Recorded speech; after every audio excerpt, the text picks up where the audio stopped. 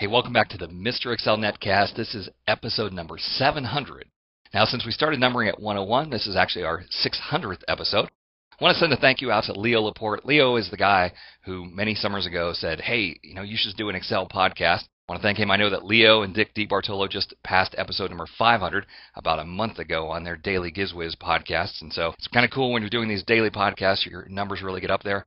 I'm starting to realize that I'm going to be in trouble. Just another 300 episodes, and I'm going to run out of digits. I should have used a four-digit numbering scheme, or maybe, geez, a five-digit numbering scheme if I plan to do this forever. Today, though, I want to talk about taking Excel data and moving it to a map. So here I have a customer list, and you notice there's a zip code field.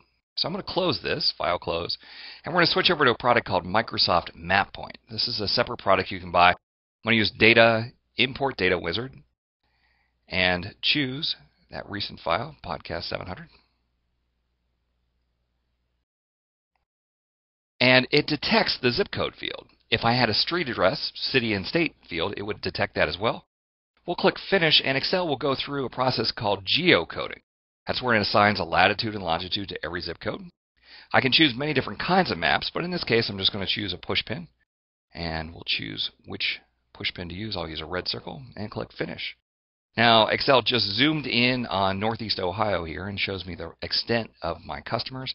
If I needed to, I could zoom in and uh, you know, see a specific range, which is very cool. If you have street level data, you can get right down to the neighborhood and see where your customers are coming from.